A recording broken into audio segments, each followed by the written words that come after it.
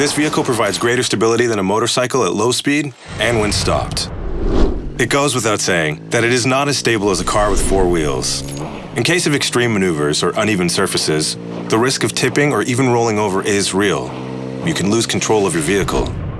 It is also possible for you or your passenger to be ejected from the vehicle during an abrupt turn, acceleration, or braking, as well as in the event of an impact. To help maintain control of the vehicle when riding with a passenger, the Can-Am Spyder has a switch under the passenger seat that automatically detects the presence of a passenger. This ensures the stability system of the vehicle is running on 2-up mode.